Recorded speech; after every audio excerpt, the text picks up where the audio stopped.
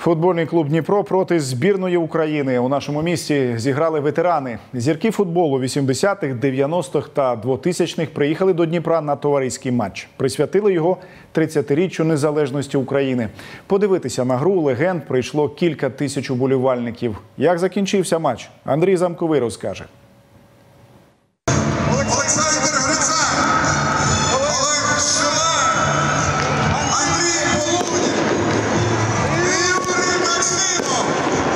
Гучні оплески, піротехніка та синій дим на трибунах. Так уболівальники зустрічали легенд українського футболу. Михайличенко, Заваров, Городов, Максимов, Назаренко та ще багато відомих прізвищ. Усі вони знову вийшли на поле. Конечно, это очень хорошие эмоции. Вспоминаешь сразу, прокручиваешь ту жизнь, которую прошел в футболе.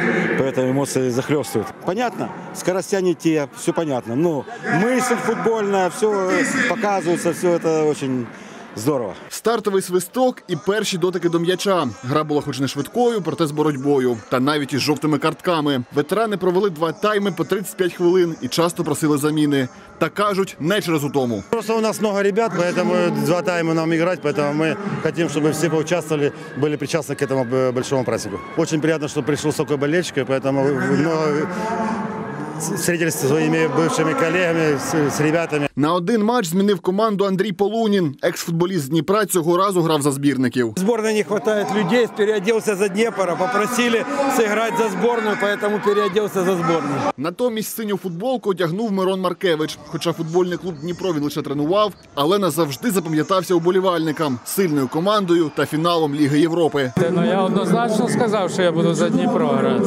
Е, Тому що тут е, пройшли мої два класних роки. І я радий, що я приїхав. Ми повертаємо футбол після е, наших ковідних е, всіх е, е, обмежень. І дуже важливо, щоб наші зірки, наші легенди дали саме цією грою е, поштовх для розвитку футболу в Дніпрі. І е, дуже важливо, щоб саме діти, які сьогодні на матчі, влю- е, влюбились в футбол і прийшли в секції нашої ДЮСШ. На двох команди забили аж вісім голів і закінчили матч із рахунком 4-4. Пенальті вирішили не пробивати. Кажуть, нічия для таких зустрічей найкращий результат. Андрій Замковий, Владислав Смичков. Деталі.